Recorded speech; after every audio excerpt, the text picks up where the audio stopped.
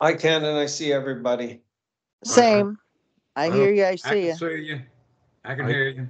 Oh, it's recording. Okay, good. All right. I'm sorry. Uh, because I hit the record button, then everybody disappeared for a couple of seconds. So I'm going to share the screen.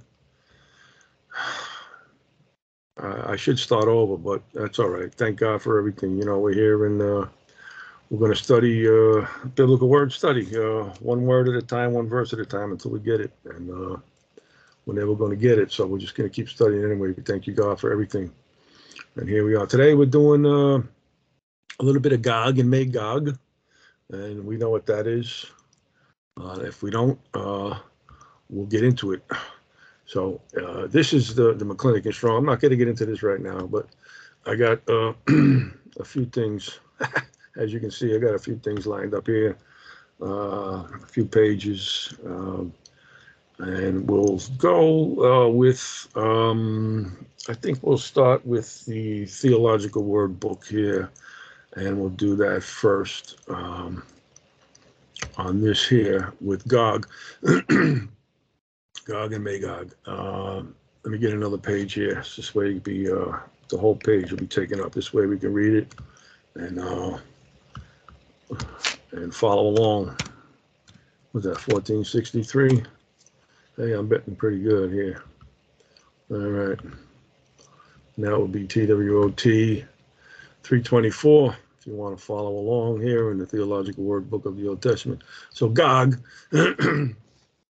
actually, what it means uh, is is mountain. You know, um, and and also in the uh, in the Greek in the New Testament, it also means mountain, uh, or it's it's the king actually the king of the land of Magog, uh, who will come uh, from the north and attack the land of Israel. Among other things, the, it's it's the name of a Reubenite and a few other things. So this, uh, and you'll see it a lot in Ezekiel 38, Ezekiel 39, and uh, Magog would be uh, the land. Um, well, I have the number for that. Let me get Magog is. Um, let me get the number for that. Magog is 4031. There we go. There we go. So we'll look him up real quick here. Magog, uh, land of Gog. So Gog is the, the ruler, and uh, uh, May is is the Magog is is the land of Gog, and it's four times in the uh, in the Bible, and in the New Testament it means overtopping or covering. It's the land north of Israel, fr- from which the king of Gog will come to attack Israel. So that's basically the uh, the gist of that. and uh, we'll get into some of these verses uh, related to that, uh, and we'll find out a little bit more about that when we read Ezekiel. So uh, Ezekiel envisions this prince as a leader of a vast horde of armed troops that includes people from Persia, Cush, Put, Gomer, and uh, Bethel, Gar- Garma. Uh, and if you look at, you know, the table of nations in, in Genesis 10, you'll see all of these names and we might slip into that uh, in a little bit. But let me just do this first. uh, they will march against Israel at a time when the people of God have returned to their land and live in peace, completely undefended. Uh, but this will all be allowed by the Lord that he might display his holiness among them. Uh, the people of God will not have to fight, for God himself will destroy these armies of Gog, and you'll see that in uh, Ezekiel 38, uh, 19 to 23. Uh, we'll read that. He says, For in my jealousy and in the fire of my wrath have I spoken. Surely in that day there will be a great shaking in the land of Israel, so that the fishes of the sea and the fowls of the heavens and the beasts of the field and all creeping things that creep upon the earth and all the men that are upon the face of the earth shall shake at my presence, and the mountains shall be thrown down, and the steep places shall fall, and every wall shall fall to the ground. And all these, you know, the mountains are cities and things like that, and walls, and, and, and you know, that waters and floods are people and things like that. So we know the idioms here, we know the metaphors. And I will call for a sword against him throughout all my mountains, saith the Lord God, and every man's sword shall be against his brother. And I will plead him Uh, and I will plead against him with pestilence and with blood, and I will rain upon him and upon his bands and upon the, the many people that are with him, an overflowing rain and great hailstones, and fire and brimstone. This, uh, thus will I magnify myself and sanctify myself, and I will be known in the eyes of many nations, and they shall know that I am the Lord. And this is when Gog attacks. And you also see that in Revelation uh, 20 and 7 and 9. So what, what some people say that this is that was the literal uh, happening that will happen literally, and I don't know that. Uh, we don't know that. But this most uh, uh, most likely here is is the spiritual aspect of this when you read Revelation in uh, 20 uh, and 7. I mean, we, could set it up a little better, but I just want to read these anyway. Uh, and, when the thousand years are expired, and we know what thousand years is, that's the Kilia, and it's at least 2,000 years, uh, Satan will be loosed out of his prison, and he shall go out to deceive the nations which are in the four quarters of the earth, Gog and Magog. And we'll understand when we get into the table of nations what, what all these people are. To gather them together to, to battle, the number of whom is as the sand of the sea. Uh, and they went up on the breadth of the earth and compassed the camp of the saints about, and the beloved city. What's that? That's that's Jerusalem. And fire came down from heaven, uh, from God out of heaven, and devoured them. That's the same thing we just read in uh, in the literal, in uh, or it could be the literal in in uh, Ezekiel 38. So these go together, Ezekiel and uh, this this sentence here in Revelation. So it, it places this event after the thousand years are over, and this is this would not be like after the thousand the Kilia. This would be like uh, sometime in the Kilia, and when Satan will be released to deceive the nations, Gog and Magog, and mobilize them uh, for war. Uh, so, and all attempts to trace the name, the origin of the name of, of Gog must be held to be tentative. And when you see, uh, I read a little bit in uh, Clinic is Wrong about Gog, and Jim always explains it as Go, uh, the Caucasian, the Caucasus Mountains, and that's up there where it's at. And and and and they just hardened the the H instead of saying Go, it's Gog. Uh, some of the names are, are Gyges of Lydia, who drove away the Cimmerians or the Cimmerians, and that's Gomer. As you can see in, in, in some of these books that you read, uh, we know that Gomer is the Cimmerians or the Cimmerians. Others see it, uh, a name mentioned in Assyrian records, Gagu, and it doesn't matter. It, it really doesn't matter.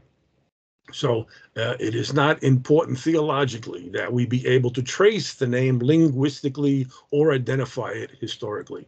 Most uh, Christians interpret these passage as eschatologically, and we know that eschatologically is end time uh, prophecy. Uh, precise interpretations differ. Some see the passage as highly symbolic of the final struggle between the church and the forces of evil, and that it is.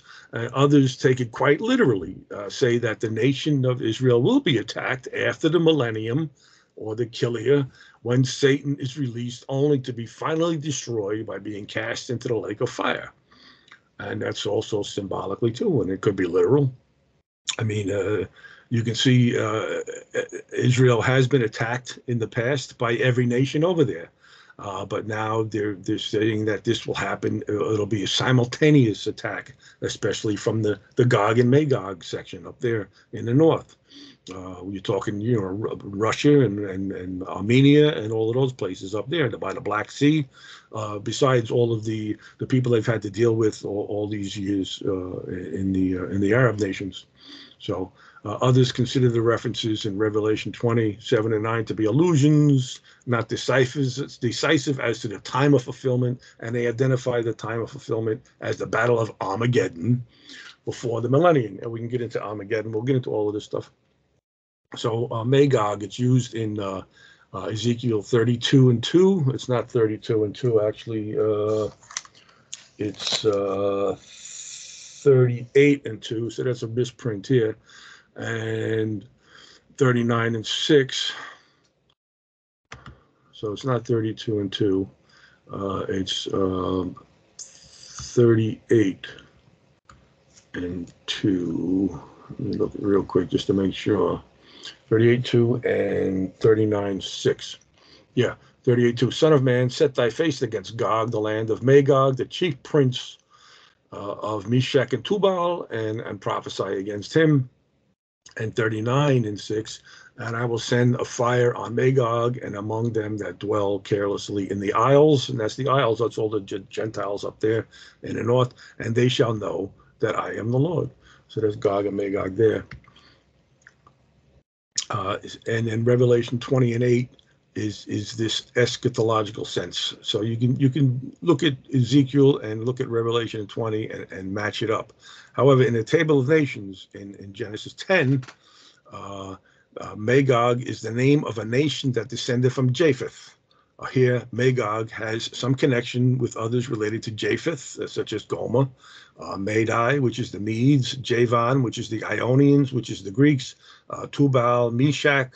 Uh, you could say uh, that's up there in uh, like Armenia and and Russia, and Tiras, and some of whom are mentioned in Ezekiel 38 and 39.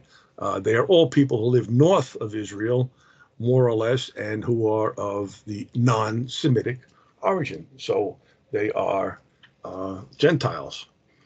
And then we co- we come to um, we go to theological dictionary, uh, theological dictionary. Uh, we look at uh, in volume one. Let me look at this. Uh, where am I? Theological dictionary. Uh, we'll look at one, 789. All right, 789. And you can't read along here. I'll just read this. Uh, it's so in, in, in the New Testament, this is the only place you're going to see uh, Gog and Magog right here uh, in, in 28 and 9. Let me put this up here. 28 and 9. Uh, and shall go out to all, uh, and shall go out to deceive the nations which are in the four quarters of the earth, Gog and Magog, to gather them together to battle, the number of whom is as the sand of the sea. And they went up on the breadth of the earth, encompassed the camp of the saints round about, and the beloved city, and fire came down from heaven, out of heaven, and devoured them. Uh, it- so it's supposedly a, a mythical name for the heathen host, uh, which after the, the messianic period of the millennial reign. See, when you read these guys here, um, they, they they put these words in here, and they really don't know what they mean.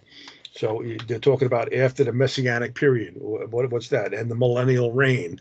They, they think there's a literal thousand year reign on earth after this, and there isn't. We are now in the Kilia, and the Kilia started when when when Peter stood up and says, "This is that," uh, what Joel was talking about.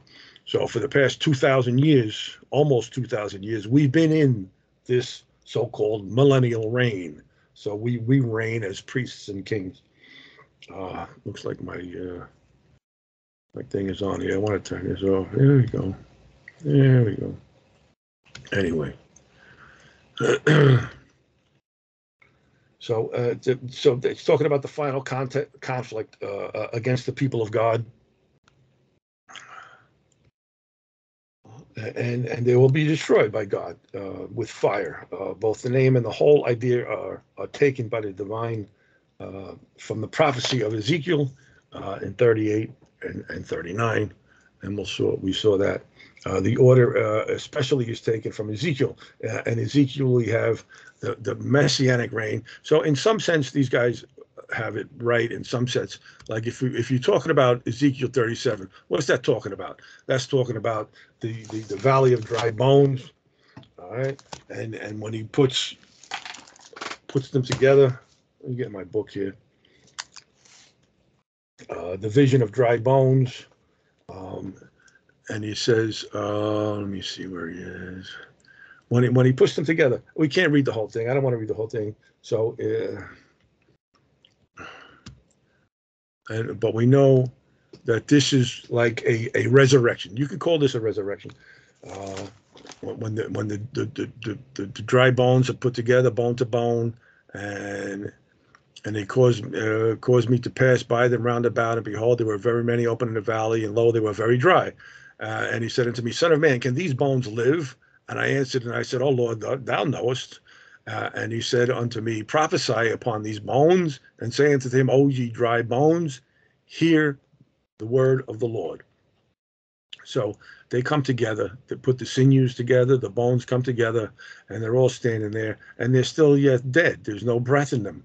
So he says, uh, So I prophesied in seven and commanded as I was prophes- prophesied, and there was a noise, and behold, a shaking, and the bones came together, bone to bone. And then he talks about, uh, uh, Can these live, uh, O breath, uh, and, and breathe upon these slain that they may live? Uh, so I prophesied as he commanded me, and the breath came into them, and they stood and and and lived and stood upon their feet, an exceeding great army. So this is the the bone to bone. This is the, the the valley of dry bones, and this is the people. This is uh, Benjamin uh, and and Judah coming together. I put my spirit into them, and he says uh, in this part here, he says, moreover, uh, thou son of man, take thee one stick and write upon it for Judah and for the children of Israel, his companions. Then take another stick and write upon it for Joseph. Uh, and that's Ephraim, the stick of Ephraim for all the house of Israel. So you're talking about the 10 northern tribes and the two southern tribes here. And he's going to put them together and join them, one stick unto another stick, and they shall become one in thine hand. Uh, and and that would happen in um, let me see. I read this here. I got 17. Uh, we, we could say that's uh, May 14th, 1948, when they became uh, a nation like that. Um, so, let me see. Open your graves, out of the graves, put my spirit in you. Okay.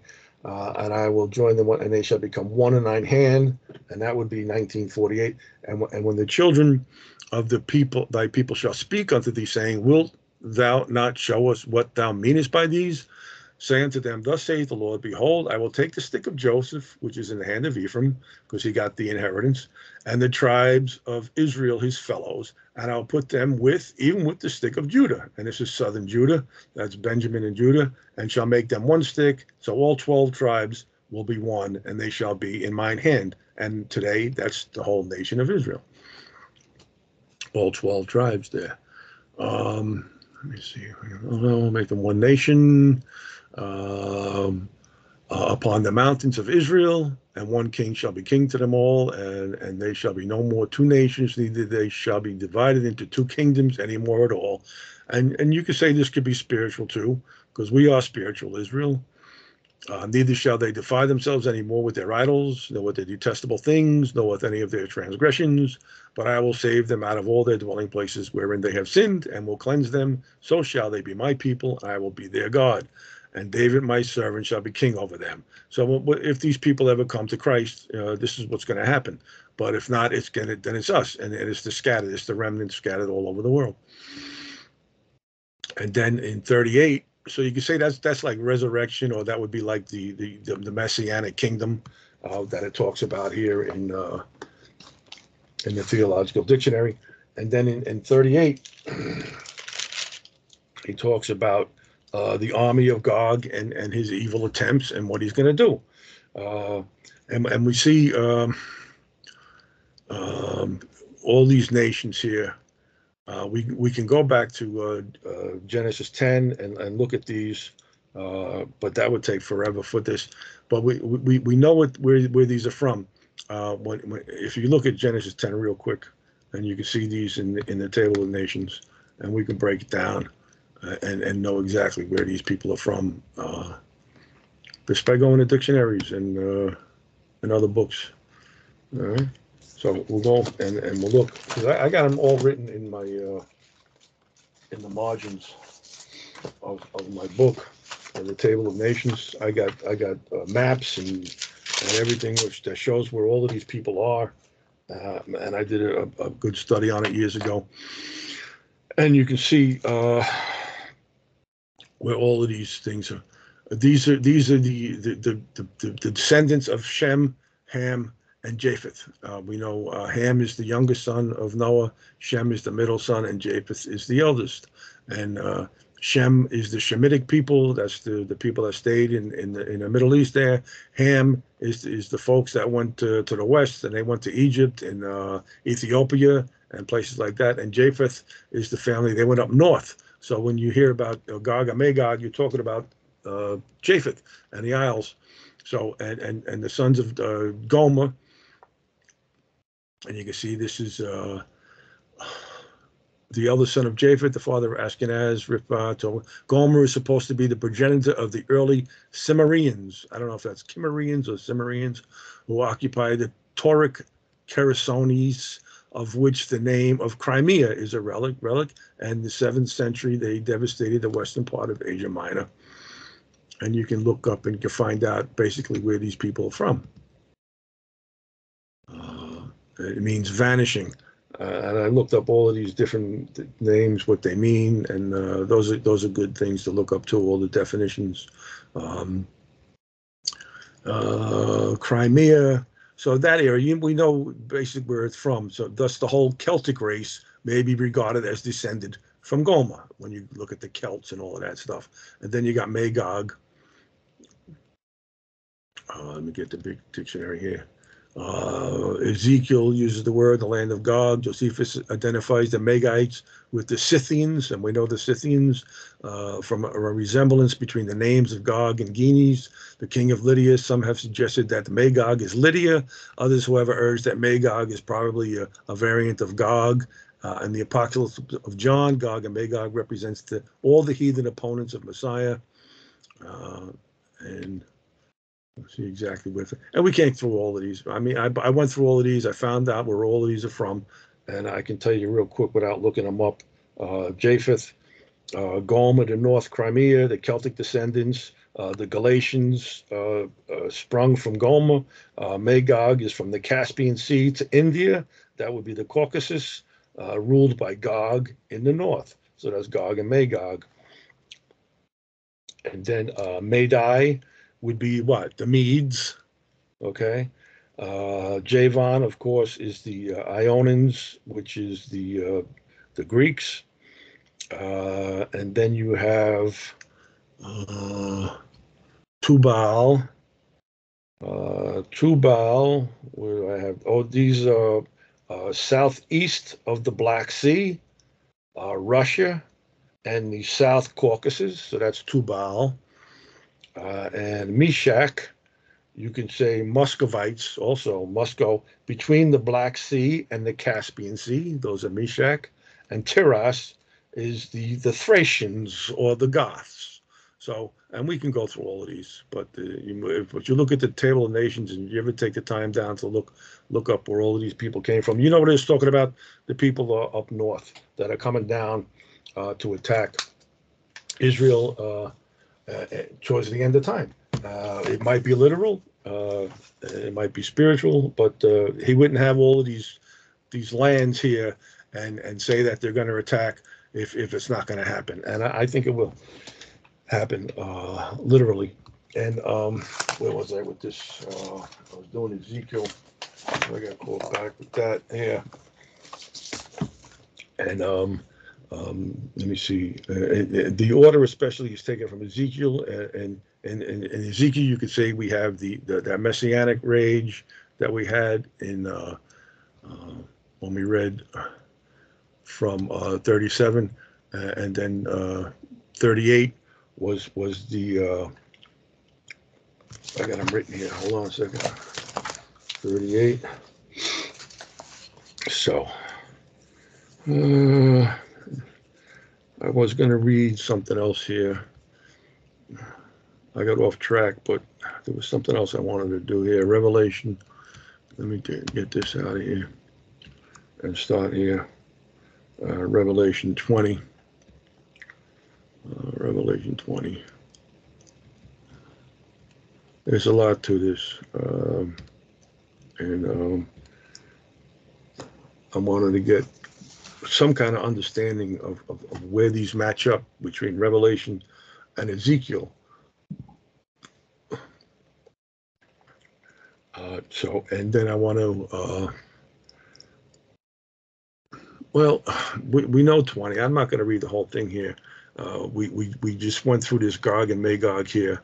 And then, and then w- w- when you match this up with Ezekiel, uh, it kind of makes sense what he's talking about here and um, uh, 38. We read we read 37. We skimmed through it real quick. Uh, 38. Um, um, we read uh, some of this. but I wanted to stop at uh, 39. So see, see, this is this is them getting ready to attack, and then 39. He says, "Thou son of man, prophesy against Gog, and and and say, Thus saith the Lord: Behold, I am against thee, O Gog, the chief prince of Meshech and Tubal, and I will turn thee back and leave but a sixth part of thee, and I will cause thee to come up from the north parts, and will bring thee upon the mountains of Israel." You know, these come up from the north parts because anybody that comes to Israel is coming up because it's it's it's in a mountain. It's up. Uh, you have to go. If you're coming from the south, you're going up to Israel. If you're coming from the north, you're still going up to Israel. Uh, and I will smite thy bow out of thy left hand, and will cause thine arrows to fall out of thy right hand.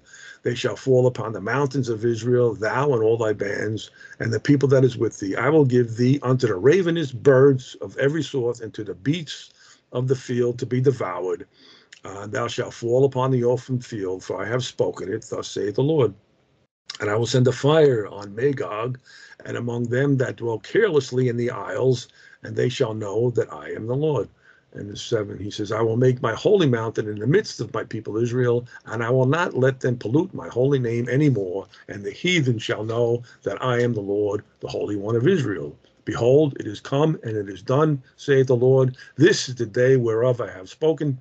And they that dwell in the cities of Israel shall go forth and shall set on fire and burn the weapons, both the shields and the bucklers, the bows and the arrows, and all the handstaves and the spears, and they shall burn them with fire seven years. And they shall take no wood out of the field, neither cut down any out of the forest, for they shall burn the weapons with fire, and they shall spoil those that spoil them, and rob them that rob them, uh, saith the Lord. That's that's hard to understand. There, talking about burning fire for seven years. Uh, we know seven is the number of com- completion, so it's going to be burnt completely. Uh, whether it's going to be for seven years, who knows? Um, and, it shall come to pass in that day that I will give Gog a place there of, of graves in Israel and the valley of passengers on the east of the sea. The valley of the passengers. The passengers is the a bar to pass over, to go by, to pass over, to come to pass through on the east side and it shall stop the noses of the passengers. So you're going to be a lot of dead people lying around, and you won't be able to stand the smell for all the death that you smell. And and and there shall they bury Gog and his all his multitude, and they shall call it the valley of Hamon Gog.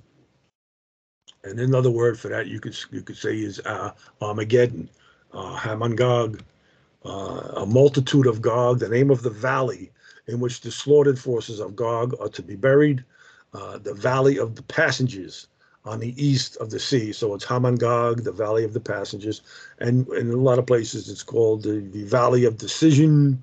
Uh, and I have all of these other places here that you can call it uh, uh, Jezreel, Esdraelon, Megiddo, Hamageddon.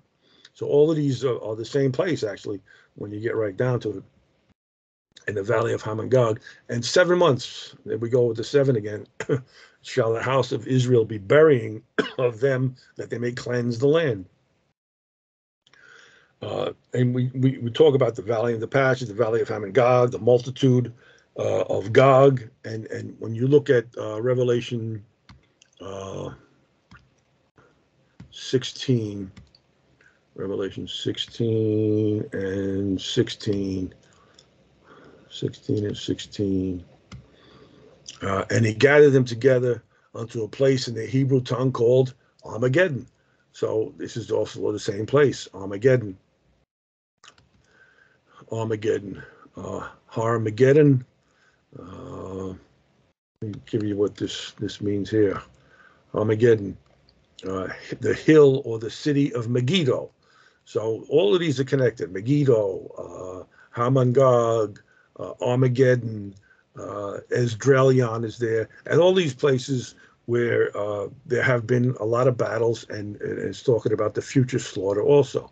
So the Revelation 16, 16 uh, is the scene of the struggle of, the, of good and evil.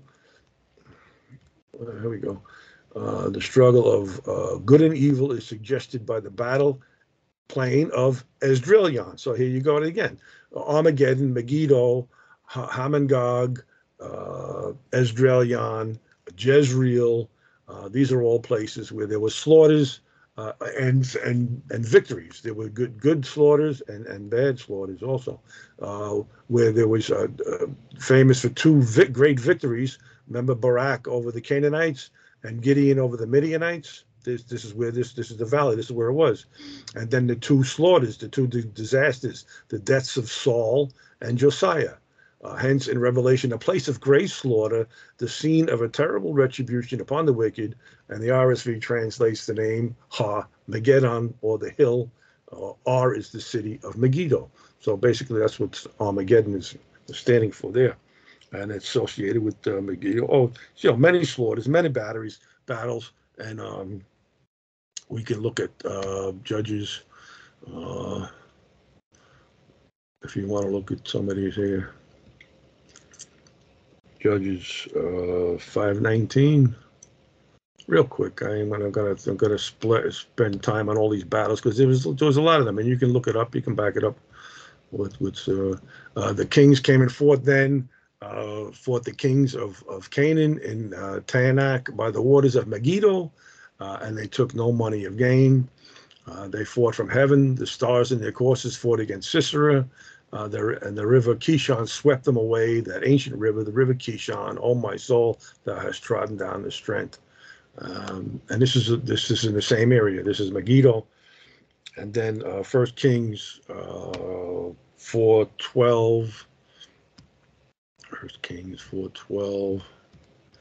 I don't know if this is uh, this is Saul with this one. Uh, Baana, the son of Ahilud, to to him pertained Taanach and Megiddo and all Beth Shean, which is by Zar Zartanah, uh, beneath Jezreel, uh, from Beth Shean to Ab- Abel uh, Meholah, even unto the place that is beyond Jokneam. Uh, so, and then there's uh, Second Kings. So all these places are connected, and they're all around each other, and it's where there was a lot of slaughter. Second Kings 23, Second Kings 23, 29 to 30. Uh, in the days of uh, Pharaoh Necho, uh, king of Egypt, went up against the king of Assyria uh, to the river Euphrates. The king Josiah went against him, and he slew him at Megiddo when he had seen him. Uh, and his servants carried him in a chariot dead from Megiddo and brought him uh, to Jerusalem and buried him in his own sepulchre. And uh, this is when he went up against uh, the, the king of Egypt. The king of Egypt says, I got no problem with you, get away from me. And he wouldn't listen, and the king of Egypt killed him.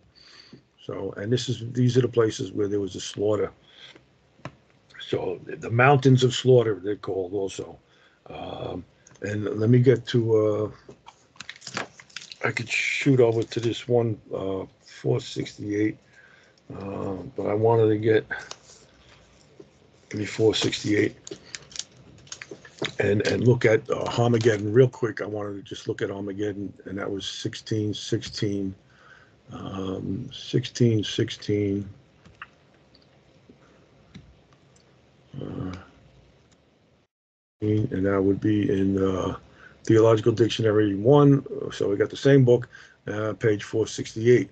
Uh, we'll look at that real quick here. Uh, uh, Mount um, Megadon uh, is a Hebrew name for the place where the kings of the whole earth, uh, and you go back to 14, he says, uh, For they are the spirits of devils working miracles, miracles which go forth unto the kings of the earth and of the whole world to gather them to the battle of that great day of God Almighty. And like we always know that, you know, when you're talking about these these books in Revelation, they're not in chronological order, they're not in sequence. It's like Jim says, it's the, we're, looking at the same picture from different angles. So this is the great day of uh, the battle of the great day of God Almighty. What's that? That's Armageddon. And it's the same thing that's in Ezekiel, and it's the same thing that's that's in Revelation 20. It's the end of time. The end of time is in 10 different books uh, in, in Revelation, and I'm just looking at it from a different angle. So, uh, like I said, the, the books of Revelation are not in chronological chronological order. So, so they will uh, assemble under the direction of uh, uh, spirits in 13 for the final battle. Uh, uh, it is thus the mountain of the world, which, as the place of assembly of hostile forces, is the counterpart of the mountains of God. And the mountains of God are in Hebrews, Hebrews 22. Hebrews what? No, Hebrews 12. 12, 22. These are the mountains of God. So you get, you know, we're talking about the two mountains. But you are come unto the Mount Zion, unto the city of the living God, the heavenly Jerusalem, and to an innumerable company of angels, to the general assembly and the church of the firstborn, which are written in heaven, and to God, the judge of all, and to the spirits of just men made perfect, and to Jesus, the mediator of the new covenant, and to the blood, the blood of sprinkling that uh, speaketh better things than that of Abel. There's a whole mouthful in there, and that's the battle, and that's this is the the, the, the mountain. You know, we have the, the Jerusalem, uh, which is our mother. That's the mountain, and, and you also you have uh, Babylon, which is another mother, which is another mountain. So who's your mother? Uh, it is also uh, the place of the decisive battle. Uh, Revelation 16, 14, like I said, uh, it's it's all over. Uh, the, the, the, the, day of God, the, the battle of the great day of the God Almighty, and this is also in Revelation 19 uh, and 19. He says, And I saw the beast and the kings of the earth and their armies gathered together to make war against him that sat on the horse and against his army. You think this is a different battle? No, it's the same thing. Okay. And consequently, the judgment of the world, and, and the beast was taken, uh, and with him the false prophet that wrought miracles before him, with, with which he deceived them that had received the mark of the beast, and them that worshipped his image. These both were cast alive into the lake of fire, burning with brimstone. And the remnant was slain with the sword of him that sat upon the horse, which sword proceeded out of his mouth, and all the fowls were filled with their flesh. Oh boy, we'll get into that. Uh, uh, the, the, retention of the Hebrew and the failure to give an interpretation are part of this. Okay, and then uh, that's 19 Revelation 19, 17 to 21. I read that. I want to get into this other thing. Um, the riddle of Armageddon still awaits solution. So we're waiting for that to, to come to pass there. So um, uh, the great battle. I just wanted to, so the equate um, Ezekiel 37 with uh, Re- Revelation 20. We saw that already. Uh, Ezekiel 37 with Revelation 20. So you're talking about the valley of dry bones, and then this this one here talking about the the resurrection here, and then um, uh, Ezekiel 38 and 39 with the great battle. You can equate that with uh, this here so the, the, the valley of dry bones would be here, Revelation 24 to 6. Okay, and then in Revelation 7, talking about the, the chiliad being expired and uh, Satan being loosed out of his prison. Uh, so from 7 to 10, uh, they'll go out and deceive the nations, and the devil that deceived them will cast into the lake of fire and brimstone with a beast and a false prophet on, which we just read in Revelation 13, uh, and shall be tormented day and night forever and ever. Uh, that's seven to ten. So that would be uh, you can you can match that up with what you read in Ezekiel 38 and 39.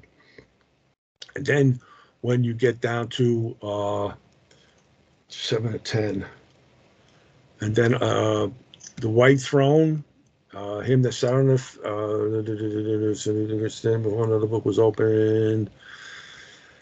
Uh, those uh, yeah you could also equate this with uh, with 38 and 39 uh, ezekiel 38 and 39 but then when you're talking about um, like when you see uh, ezekiel uh, 40 jumping around here a lot but when you see 40 this is where he starts measuring out the temple so uh, all of these these passages, all these these chapters after this, t- talking about measurements and the, and the, what the what the you're talking about the new creation. You're talking about New Jerusalem, uh, and this happens in the in the 25th uh, in the five and twentieth year of our captivity, in the beginning of the year, and you gotta understand that when he, when he says in the five, uh, and twenty-fifth year in our captivity, Ezekiel always starts, um, uh, a prophecy with, with some of these, these, uh, these dates, when he's talking about the twenty-fifth year of our captivity, the tenth year of our captivity, the fifth year of our captivity. You gotta understand when he was in captivity. And he was in captivity in, in five, like five ninety-seven, he went in. And, and, and five eighty-six was the total destruction of Jerusalem. So he's, he's in there, you know, uh, a, a lot, of years before the, the, the, the, so he's taken in five ninety-seven. So if he says the five and twentieth year of his captivity, that will be what? That would be five seventy-two.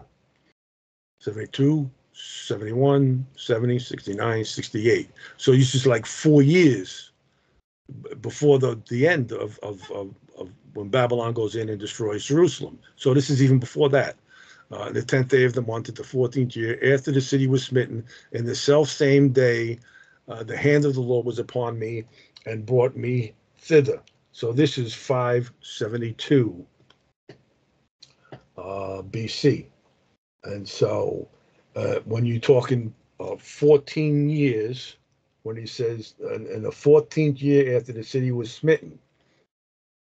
So 586 BC, it was it was take, taken, and and you you you, minus uh, 14 years from that, that's 572. So we we know when he's talking about here uh, that year. And this this he goes on to explain all the dimensions in the uh, in the New Jerusalem, so to speak. And you'll see that in um,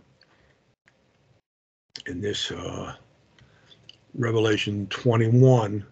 You can equate with starting with uh, Ezekiel 40. And I saw a new heaven and a new earth, for the first heaven and the first earth were passed away, and there was no more sea. And I saw, and I, John, saw the holy city, New Jerusalem, coming down from God out of heaven, prepared as a bride adorned for her husband. And you can go on there with that. So that's New Jerusalem. Uh, and we were talking about, um, uh, there was a lot of different things here. I don't know where to go with this. Um, let me finish. Did I finish up this thing here with the? Uh, um, uh, there is one characteristic. This is in the theological dictionary about Gog and Magog. Uh, it says there is one characteristic difference between Revelation 20 and 8. Hold on, let me get there. Uh, Revelation 20 and 8. And uh, Ezekiel 38. So you, you can match these up. And they shall go out to deceive the nations which are in the four quarters of the earth, Gog and Magog, to gather them together to battle. Uh, for, for all these uh, descriptions here, uh, it's, it's offering real prophecy. So he, he's referring to future historical events, and this is future. In Revelation 28, however, the whole conception he says it's mythical, but it's not. He says uh, prophecy has become uh, the apocalyptic. So, thus, Ezekiel gives precise names to the princes, peoples, and kingdoms which make this attack on the people of God. He makes a more or less clear geographical and political identification. So, it has to be real, though. Even, even when he describes the destruction of the invaders in the land of Israel, he mentions the place and gives a detailed account. In Revelation 20 and 8, however, the armies come up from the four corners of the earth.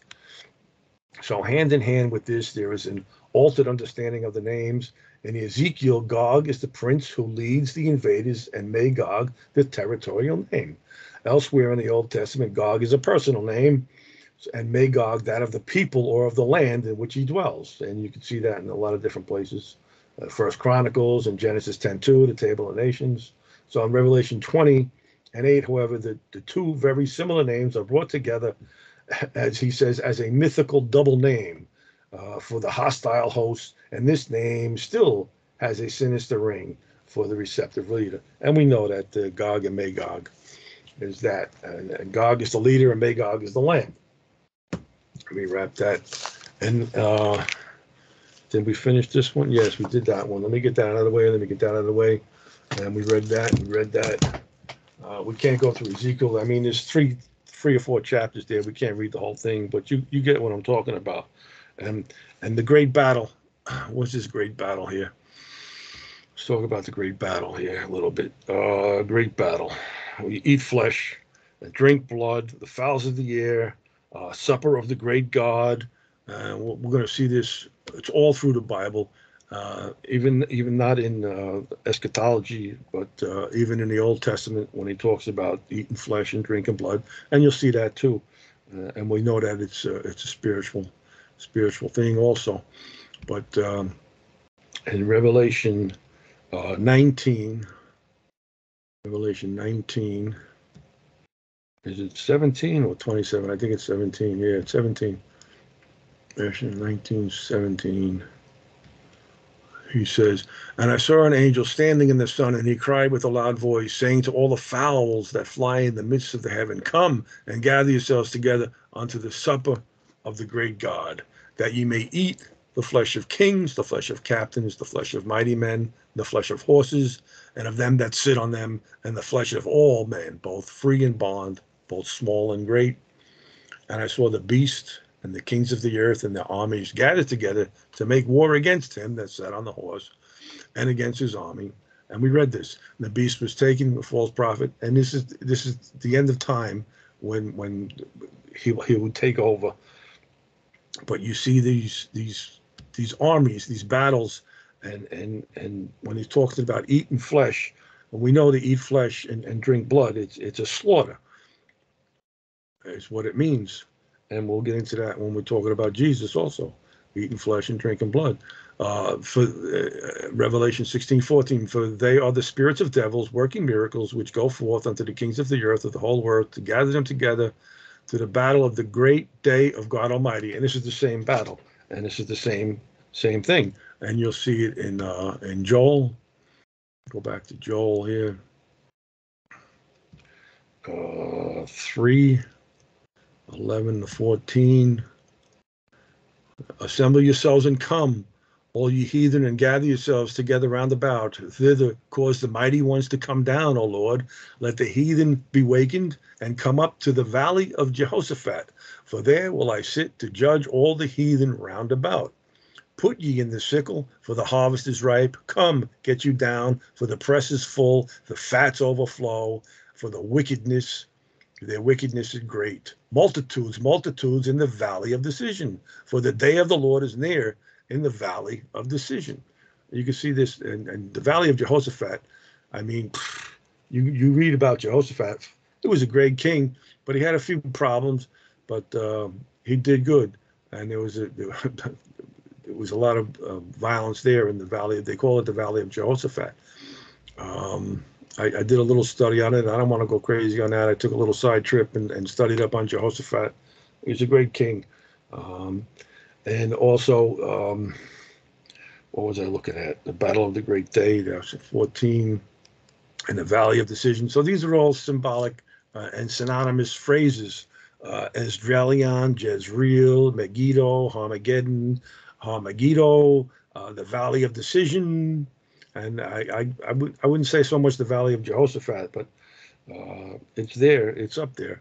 And uh, Isaiah uh, 56 and 9, uh, 56 and 9, he says, All ye beasts of the field come to devour, yea, all ye beasts in the forest.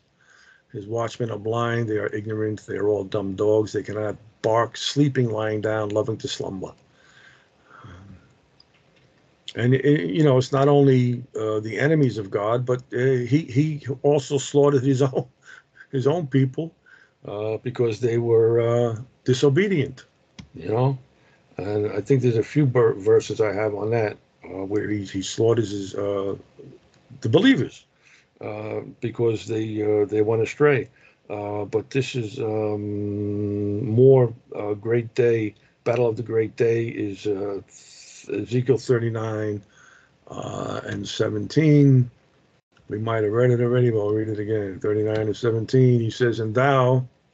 Son of man, thus saith the Lord God, speak unto every feathered fowl and to every beast of the field, assemble yourselves together uh, on every side to my sacrifice, that I do sacrifice for you, even a great sacrifice upon the mountains of Israel, that you may eat flesh and drink blood. You shall eat the flesh of the mighty and drink the blood of princes uh, of the earth of rams, lambs, and goats, bullocks, and all the fatlings of Bashan. And you shall eat fat till you be full, and drink blood till you be drunken of my sacrifice, which I have sacrificed for you. Thus you shall be filled at my table with horses and chariots, with mighty men, and with all men of war, saith the Lord God. so, uh, you know, we're not supposed to uh, uh, drink blood, eat blood, and that's forbidden. So we know this is metaphorical language here. So uh, the great day of God Almighty, um, we read that um, 20 and 8. Did I see 20 and 8? I think, yeah, we did 20 and 8. Um, and that's 20 and 8 is spiritual of Ezekiel 38 and 2. I think I covered that. 20 and 8 is Ezekiel. Okay, okay. Uh, Ezekiel 39, 17, we read that. And then Revelation 19, 18, I'm sure we read. I just want to touch on it real quick. Revelation uh, 19 and 18. Uh, yes, they eat the flesh of kings, flesh of captains. We read that. Okay. And so eat flesh and drink blood. We, we know it's it's an idiom uh, and it means to to undergo a, slaughter. Uh, and when you go to uh, John, John uh, 6 53, where am I? John 6 53. 53. He says, Then Jesus said unto him, Verily, verily, I say unto you, except you eat the flesh of the Son of Man and drink his blood, you have no life in you. Whoso eateth my flesh and drinketh my blood hath eternal life, and I will raise him up at the last day. What's he talking about? For my flesh is meat indeed, and my blood is drink indeed. He that eateth my flesh and drinketh my blood dwelleth in me, and I in him.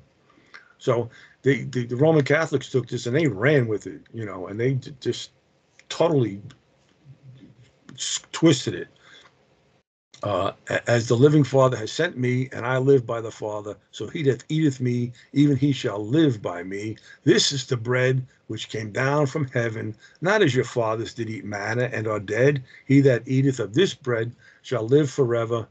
Uh, these things he said in the synagogue, and he taught in Capernaum. So, like I said, eat eat flesh and drink blood is an idiom, and, and Christ wasn't talking about the crackers and grape juice here. Uh, he was talking about uh, studying and reading and, and fellowshipping and and undergoing a death.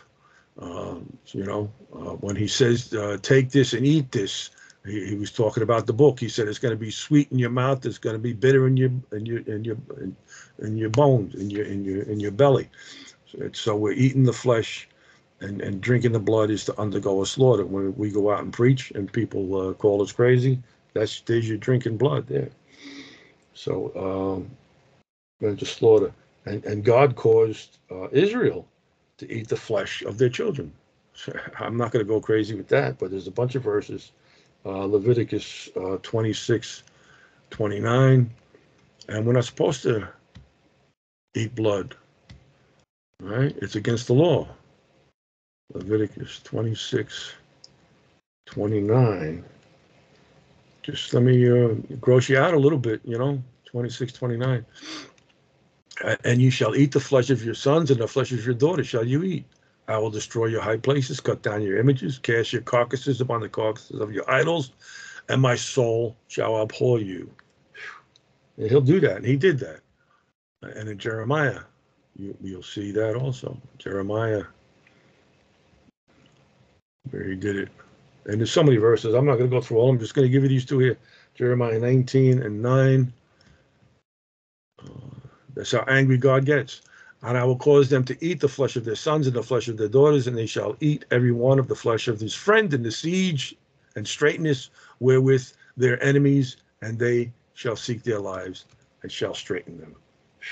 So that's what's going to happen when uh, in the siege, and who knows uh, what we'll do in in a siege, you know.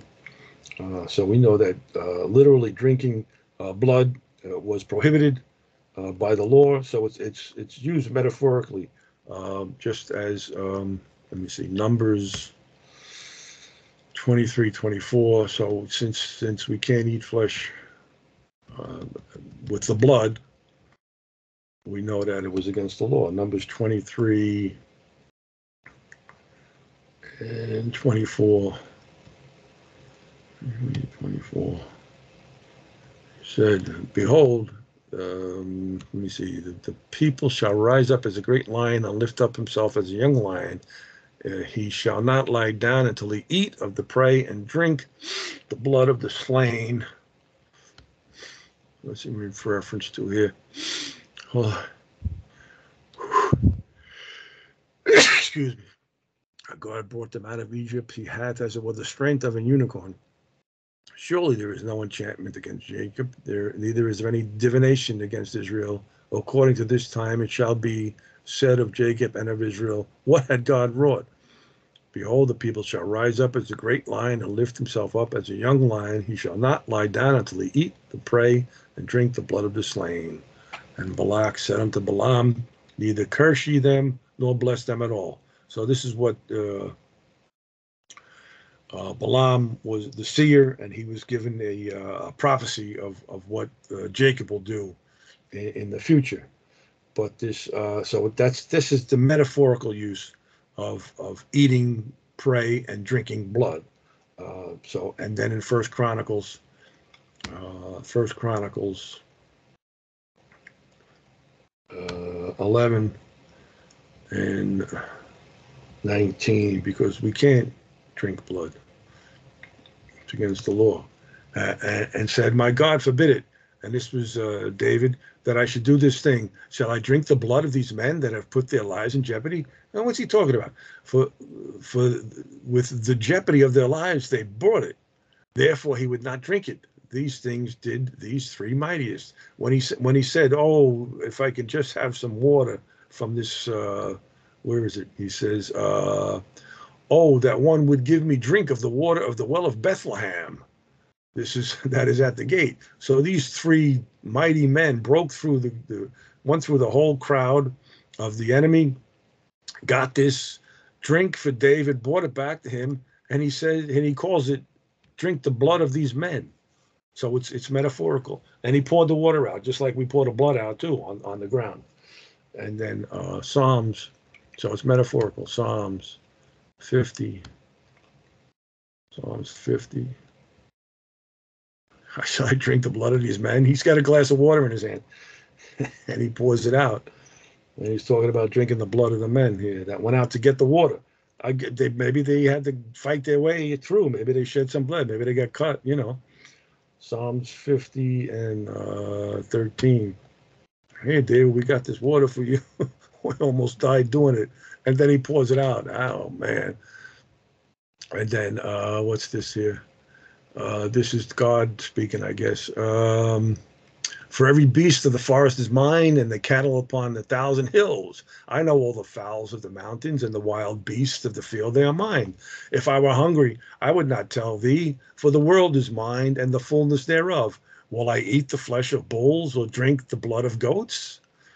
Offer unto God thanksgiving, and pay thy vows unto the Most High, and call upon me in the day of trouble, and I will deliver thee, and thou shalt glorify me. So he's got, he said, I can tell you nothing. You want me to eat the flesh? So, and we know it's prohibited. And you can go to a lot of places where it's prohibited. So, you know, eh, most of this stuff has to be metaphorical.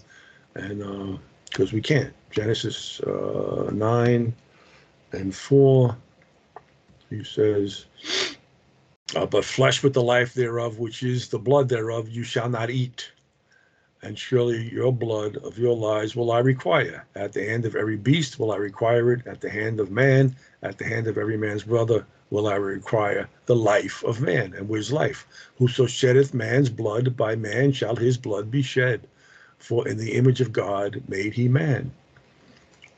So you can't shed blood Uh, Leviticus 7. Uh, the life of the flesh is in the blood. Leviticus 7. 7, 26 and 27. 26 and 27. Moreover, you, you shall eat no manner of blood, whether it be a fowl or a beast, in any of your dwellings.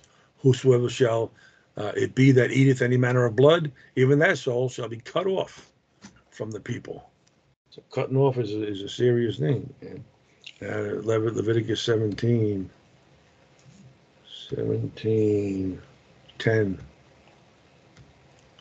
And whatsoever man there be of the house of Israel or of the strangers that sojourn among you that eateth any manner of blood, I will even set my face against that soul that eateth blood and will cut him off from all the people. For the life of the flesh is in the blood, and I will give it to you upon the altar to make an atonement for your souls, for it is the blood that maketh an atonement for the soul. And he, we were bought with a price. Or what? He shed his blood for us. Uh, there, therefore I said unto the children of Israel, No soul of you shall eat blood, neither shall any stranger that sojourneth among you eat blood. So, and whatsoever man there be of the children of Israel or of the strangers that sojourn among you, which hunteth and catcheth any beast or fowl that may be eaten, he shall even pour out the blood thereof and cover it with dust. For the life of all the flesh, the blood, for it is the life of all flesh. The blood of it is for the life thereof. Therefore I said unto the children of Israel, You shall eat the blood of no manner of flesh, for the life of all flesh is in the blood whereof. Whosoever eateth it shall be cut off.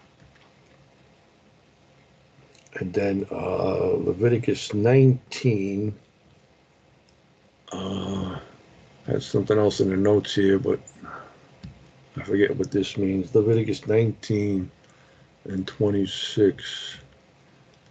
Uh, I got a few verses to go with this here. 19 and 26. You shall not eat anything with blood, neither shall you use enchantment, nor observe times. All right.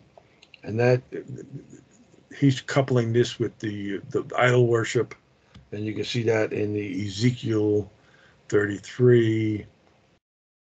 Uh, Ezekiel 33. So it's not it's bad enough that you drinking blood, eating blood. Uh, you're doing enchantments.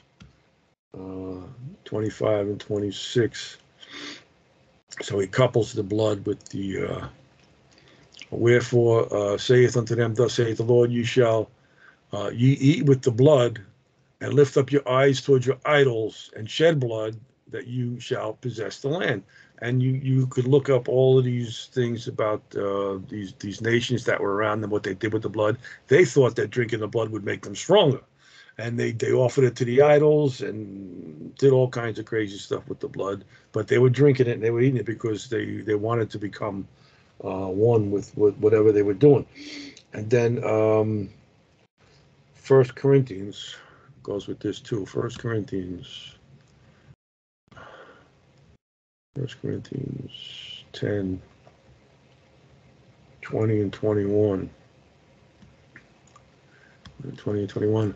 But I say that the things which the Gentiles sacrifice, they sacrifice to devils and not to God. And I would not that you should have fellowship with, with devils. You cannot drink the cup of the Lord and the cup of devils. You cannot be partakers of the Lord's table and the table of devils. So yeah, you eat my flesh and drink my blood. That's me. Yeah, you got to do that, and it's uh, it's symbolical. And then the last one here is First Samuel 14, 23. First Samuel 14, 23. So the Lord saved Israel that day, and the battle passed over to Beth-aven. Uh, 14, excuse me, wrong, 14, 32. I'm going dyslexic again. Uh, and and um, let me see, 31. They, and they smote the Philistines that day from Michmash to Ajalon, and the people were very faint. And the people flew upon the spoil and took sheep and oxen and calves and slew them on the ground. And the people did eat them with the blood. And that's a no no. And then they told Saul, and Saul said, Behold, the people sin against the Lord, in that you eat with the blood, and have said, and he said, You have transgressed. Roll a great stone unto me this day. And Saul said, Disperse among yourselves the people, and say unto them, Bring me hither every man his ox. So he had to do an atonement for the people. And Saul built an altar unto the Lord. The same was the first altar that he built unto God. And uh, it doesn't matter anyway. So eat. We, we did a lot of eating, eating, eating flesh and drinking blood. And what else do I have here? Nothing really. Uh, Revelation 28 9, we see Gog and Magog get together to battle with the beloved city. Uh, and fire came out from heaven and destroyed them. All right, so we can see the this also in Ezekiel 38 39. Uh, and I have this one word here that I looked up. I, I can drive you crazy with all this other stuff that I got, but um, 6908. Like, oh, 6908. And this is gather. Gather together. Um, gather together. Okay, when I was doing uh, 38 and 8, I saw this gather together, and I just thought I'd look it up. Ezekiel 38 and 8. Uh, after many days thou shalt be visited. In the latter years thou shalt come to the land that is bought back from the sword and is gathered out of many people uh, against the mountains of Israel, which have always been waste, but is brought forth out of the nations, and they shall dwell safely there. I just wanted to get that gathered together here. Gather to assemble, to collect. And um, let me look at some of these other things that I have here. Uh, that's the 20 here.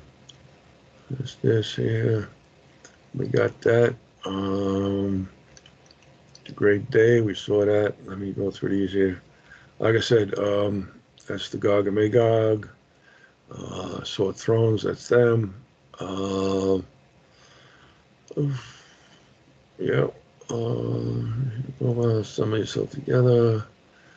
We read that. We read those. Okay. And this is that. And we read that. And all I got left is this. And this is a two week study here, going through all of these, talking about Gog uh, and Magog. All right, we can see that. Uh, we read a lot of this stuff, so we understand what this is all talking about. But these are all the different uh, uh, research books that have these these names in it. And Gog and Magog. We saw Armageddon. We saw uh, the Hebrew name of the place where the kings of the earth of the whole world would be gathered together to make war against the Lord.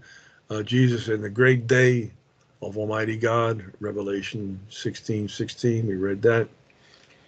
And um, Dictionary of Theology, all talk about basically the same thing here.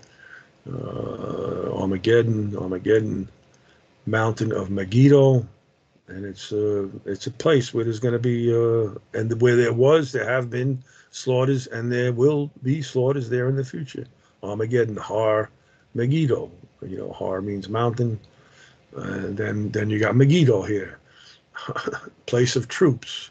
Originally one of the royal cities of the Canaanites, Joshua 12, 21, belonged to the tribe of Manasseh, Judges 127, but does not seem to have been fully occupied by the Israelites till the time of Solomon. Uh, the valley or plain of Megiddo was part of the plain of Esdraelon, the great battlefield of Palestine. It is here that Barak gained notable victory over Jabin. We saw that, the king of Hazor, whose general Sisera led the hostile enemy. We know what happened to him. He's got that nail put through his head by what's her name, uh, Jael or something. Barak rallied the warriors, right? And it shows you the places that, that where there was the slaughter. Okay, and then the Pharaoh Necho uh, kills uh, King Josiah there.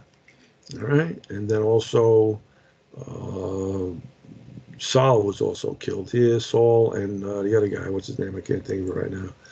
So uh, Megiddo has been identified with the modern El Jeun at the head of the Kishon under the northeastern brow of Carmel on the southwestern edge of the plain of Esdraelon, about nine miles west of Jezreel. So all these places are connected, all in that valley. Others identified it with the Mujeras, four miles southwest of Beth but the question of its site is still undetermined. Uh, this is all the place where it's mentioned. All the places uh, where it's mentioned. Um, uh, sitting on the plain of Esdraelon, the conquest of by Joshua, walked by Solomon. Uh, prophecy concerning Josiah killed by Pharaoh Necho. We read that. The valley of Deborah defeats Sisera. Okay.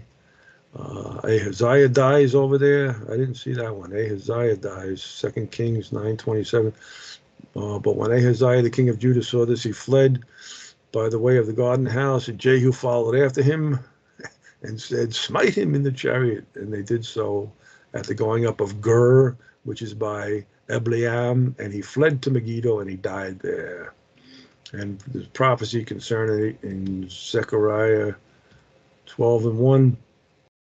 Uh, in that day there shall be a great mourning in Jerusalem as the mourning of Harar Rimon in the valley of Megiddo. So, and then Esdraelon, you see that that's equivalent with Jezreel. From the Hebrew word Jezreel, the Great Plain. Uh, and it'd probably tell you the same thing about the battles and everything that was there. Uh, it had been a chosen place for encampment in every contest carried out on this country from the days of Nebuchadnezzar, kings of Assyrians, uh, in the history of whose wars with Arphaxad. It is mentioned as the Great Plain of Esdraelon until the disastrous march of Napoleon Bonaparte from Egypt into Syria. Jews, Gentiles, Saracens, Crusaders, Frenchmen, Egyptians, Persians, Druses, Turks, and Arabs warriors of every nation which is under heaven have pitched their tents in the plain and have beheld the various banners of the nations wet with the dews of Tabor and Hermon. Those are the mountains over there. So everybody, and it's going to be uh, a future battle also. Jezreel, and that's where what's they they they killed uh, uh, what's her name? Uh, the, the, where he says, "I will you will drink the blood." Of uh, what's her name? She was killed because she shed the blood of that guy in his land. I forget. I can't think of his name. Um, uh, Jezebel. That's it. Jezebel. Uh, city uh, in Issachar, the abode of Ahab and Jezebel, the prince and principally connected with their history. It was the scene of Jezebel's tragic end, where they drank the blood, licked up the blood in the chariot, uh, and also uh, where her tragic end was. Can't read all of this. Uh, see. First, Second King, Jehu. So all of these verses will tell you about this place here. Uh, where's the one with uh, Jezreel? And Jehu slew all that remained of the house of Ahab in Jezreel, and all his great men and his kinsfolks and his priests until he left none remaining. Jehu, the zeal of Jehu. And even he didn't take all of the high places out. So these guys still left the high places. So, and then, like I said, we can we can go through all of these here and read about this stuff. It means scatter seed to sow. And there's going to be a lot of scattering of seed there, boy, let me tell you.